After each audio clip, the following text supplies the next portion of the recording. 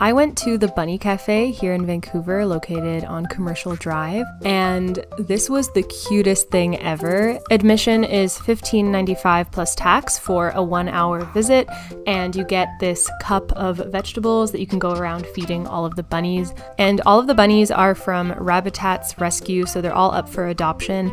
And trust me, when you leave, you're gonna want to take one home with you. But highly recommend, it was definitely worth every penny. I loved it so much.